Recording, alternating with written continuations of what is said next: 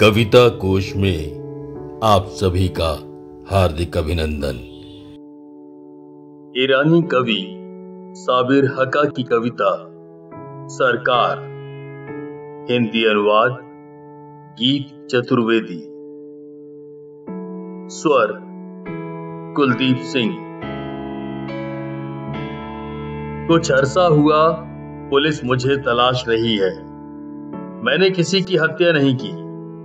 मैंने सरकार के खिलाफ कोई लेख भी नहीं लिखा। सिर्फ़ तुम जानती हो मेरी प्रियतमा, कि जनता के लिए कितना त्रासद होगा। अगर सरकार महज इस कारण मुझसे डरने लगे कि मैं एक मजदूर हूँ। अगर मैं क्रांतिकारी या बागी होता, तब क्या करते वे?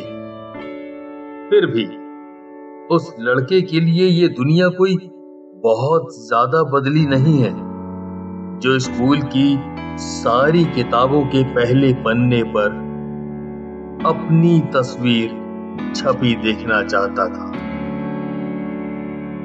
पहले पन्ने पर। धन्यवाद।